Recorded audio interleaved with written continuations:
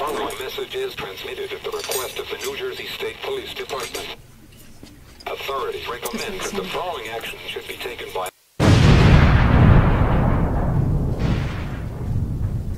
Did not, did not want to start that too early. I want to start it on time, and I'm going to tell you, the Friday Night Warno just goes so much easier when I am prepared, when everything is set up the way it's supposed to be, when you execute on time.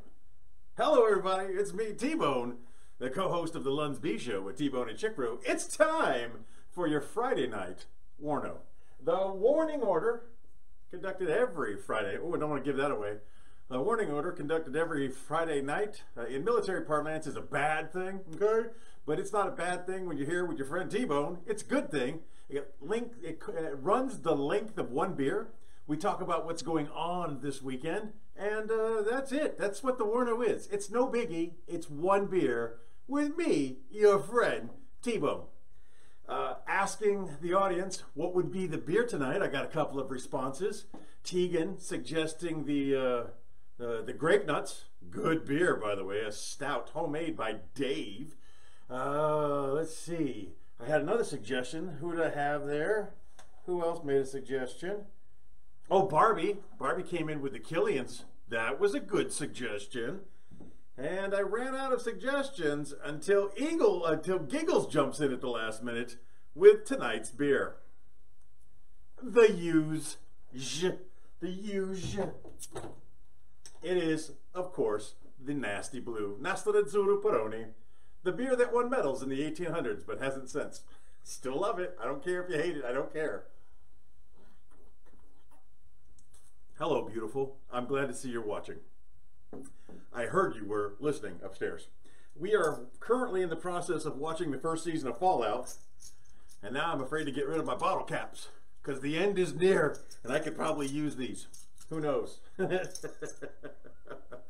what are we going to talk about tonight? We're going to talk about the same thing we talk about every week night. Mm. Every Friday night. Friday nights, I let you know what's going on. I give you a little rundown of things. Here's here's what you're you are not you are not expecting this. I promise you, the next thing I'm about to talk about, you had no idea this was coming. I didn't know I was going to do this. What I want from you, what I need from you, are uh, dick pics. Someone recently had to give me their phone number, I, I begrudgingly gave me their phone number. They didn't want to give me their phone number, but they did because they needed something from me and it needed to be sent by phone. And after I sent it, he was like, okay, thank you, but please, no random dick pics. Challenge accepted. I went through my brain to remember every famous dick I ever knew in my life. You got your uh, Dick Sargent, you got your uh, Dick York, you got your uh, Dick Van Dyke, your Dick Van Winkle, your Tricky Dick, uh, Dick Butkus. I went through a litany of dicks. If you know any famous dicks, you could send me their pic, and I keep those now. Walter Lee, getting ready to retire. I see you, brother. Hey, go ahead and have a sip to you right now. So, uh, eh. Regardless of who's watching, at this current moment in time, and you'd understand why this is funny, uh, yeah, send me your dick pics. But remember, uh, the dick pics I'm looking for are famous dicks. I don't want your everyday, some dude you know named Richard. I want that guy. I want the famous ones. Uh, and, and if you got any ones you could think of, the, uh, the Smothers Brothers. The Smothers Brothers were dicks, right?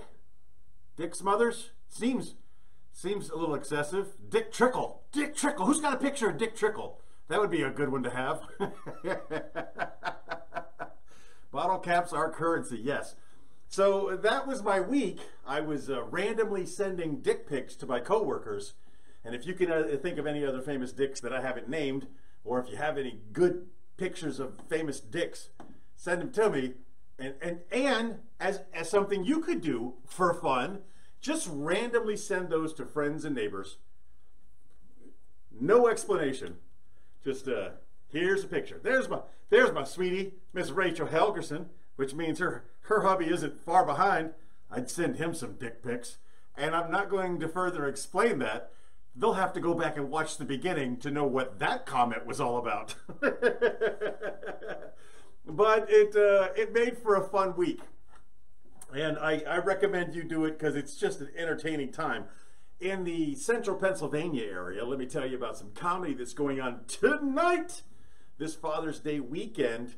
Big Chuck the Landlord's got a show going on down there in Gettysburg. Gettysburg's just a few miles away. You ever want to come visit Gettysburg and you need a place to hang out and drink beer with your good friend T-Bone? Call in advance. We take reservations.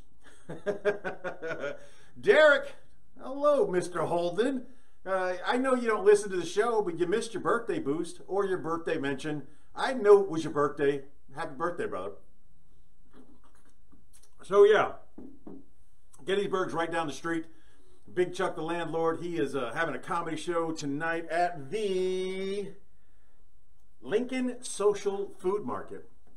Doors open at 7, show starts at 8. Tickets are $25 at the door or $20 in advance. If anybody's interested in going, just PM me and I'll send you the details to how to get the $5 discount because it's too much to remember. I don't want to remember all that. Uh, $20, $25 at the door, $20 in advance. Let me tell you who's on the lineup, okay? They got Tony Spone listed in big letters, so I'm imagining he's headlining. But of the people I know, Damian Robbins is going to be there. Uh, Casey Nichols, Casey Nicholson, she's going to be there.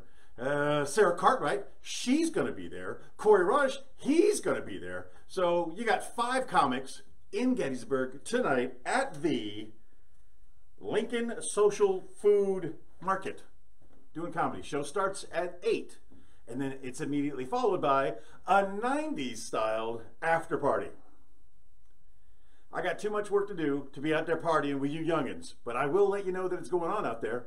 So if you, you got something to do on a, you're looking for something to do on a Friday night, go on out there and enjoy yourself. All right. Dick Clark. Dick Clark was a great one. Didn't think of that. There's another dick pic for you. uh, tickle me sometimes. All right. That's what's going on with that. What's going on with Zeus? He's he's all happy we were expecting some thunderstorms, so he's had a bunch of marijuana supplements to calm him down. And uh, he'll be part of the show tonight. If he would just climb up here and sit at the bar, wouldn't that be fun and entertaining for all of us? Anyway, so I told you about the show going on tonight at Gettysburg. There's five comics. Again, doors open at 7.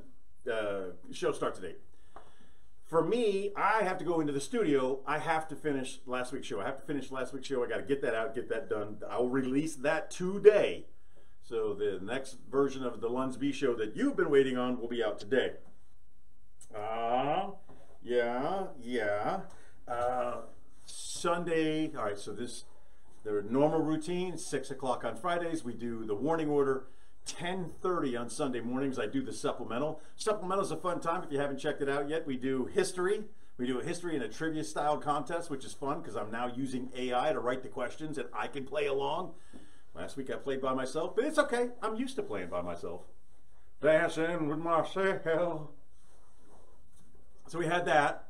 The supplemental, This Week in History, uh, community service note, or anything that I might be promoting. Oh, speaking of what I'm promoting, der on the 22nd of June, we are doing a uh, Fresh Faces uh, spotlight. No, not a spotlight. A showcase. A Fresh Faces showcase at the Comedy Zone here in Harrisburg, Pennsylvania.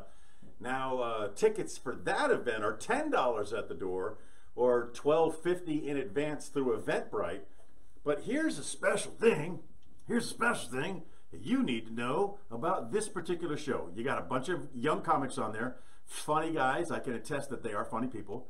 They're going to come out, they're going to give you their best.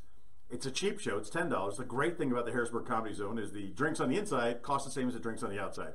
They don't upcharge you because you're inside a venue.